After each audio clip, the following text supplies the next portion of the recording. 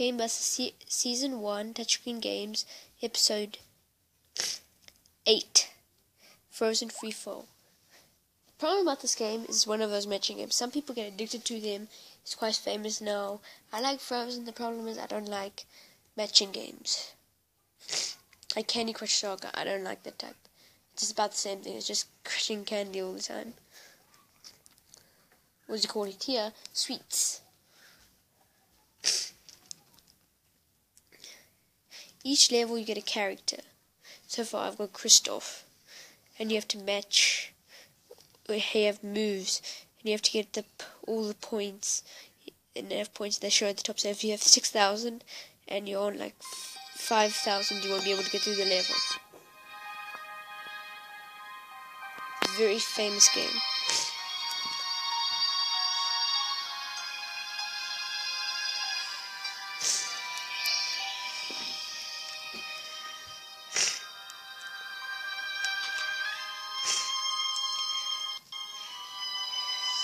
The phone might blank out soon, so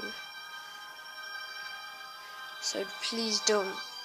If it blanks out again, like it did in some of the episodes, then sorry. Come on.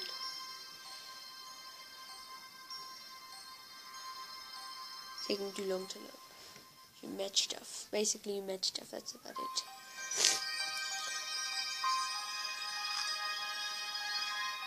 You draw your daily, you get a daily reward. You won, yes. But three. It goes up to, I don't know how. See, there's your minion. Kristoff level three. Play, and you get your target. And, you know, you carry on until, like, you listen 50. I mean, level 50. Reach target score before they run out of moves. So you basically have to move stuff. Come on. It's quite hard for touchscreen.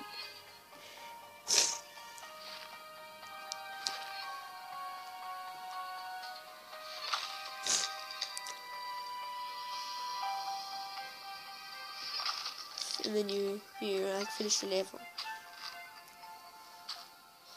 So it's one of those basic touch games. You probably won't wonder what we finish it.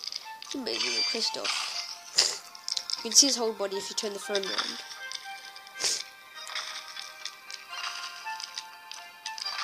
I'm not even doing anything. Let's carry on. Turn. Did you see quickly? It was the, in the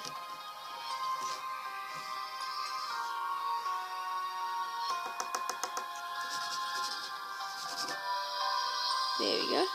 Here's Kristoff. Anyway, thank you for watching. This is a short one. Bye. See you for e episode 9. Bye.